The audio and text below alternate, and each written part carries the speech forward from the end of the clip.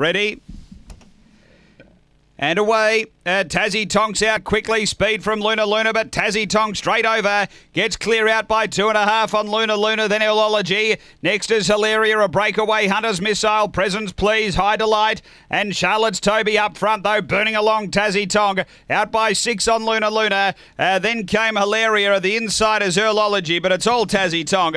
Tassie Tonk walks in. Second Luna Luna. Third Hilaria. Then came Earlology. Behind those, presents, Please from High Delight. And Charlotte's Toby is back at the tail end. It's a uh, pretty much a replica of the quali win as far as the time goes, around the 22.40 mark.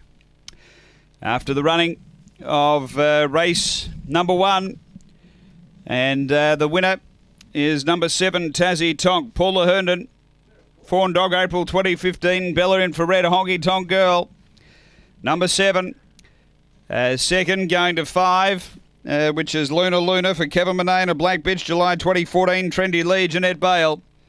And uh, number eight, which is Hilarious, Stephen Brook. Black Dog, April 2014. Lochinvar, Marlowe Klinger. So it's 7583 after race one at Angle Park.